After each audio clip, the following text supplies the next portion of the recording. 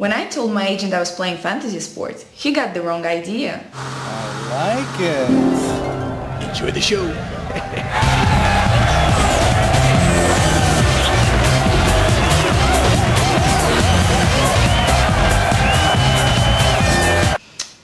I would never do that. My fantasy league on Lycos Sports is just good fun. I get the latest scores, player stats, even breaking news.